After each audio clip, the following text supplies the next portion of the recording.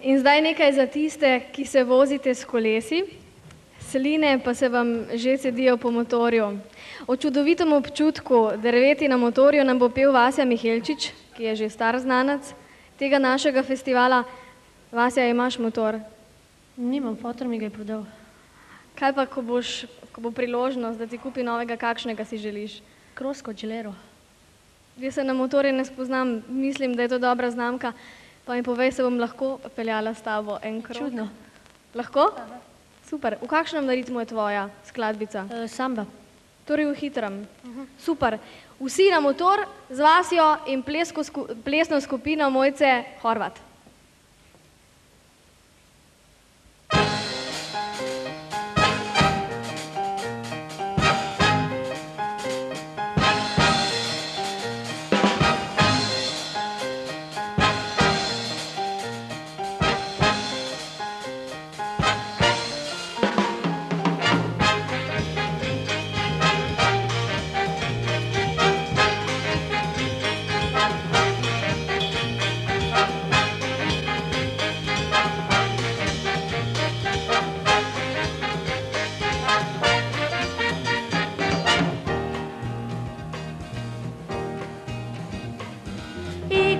Rad bi bil turist, tako premijen motorist.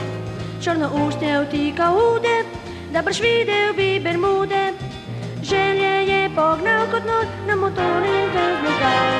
Da ne veš, da ne veš, da ne veš, da ne veš. Skozi gozd drvija maha, umika je si od straha. Zajci ježi, strake srne, morju zdaj motor obrne. Plankton silno se začudi, kit pa hrbet mu ponudi. Plove boce Anja maha, Igor pa veselo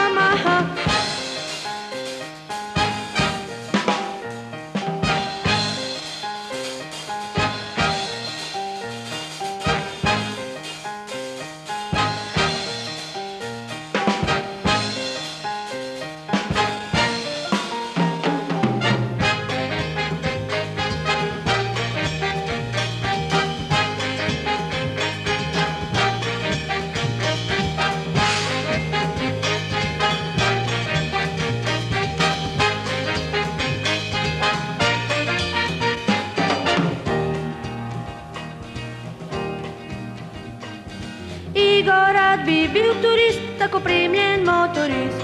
Črno ustje vtika ude, da boš videl bi Bermude. Želje je pognal kot nor na Yamaha črn motor. Prehiteva črte seka, švine v klanec kot raketa.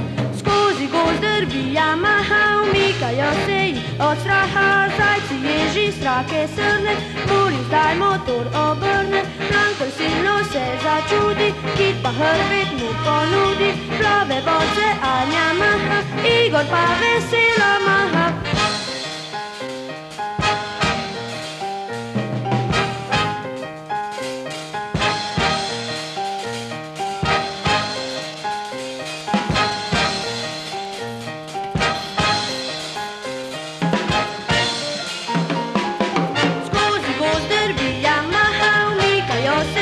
od straha.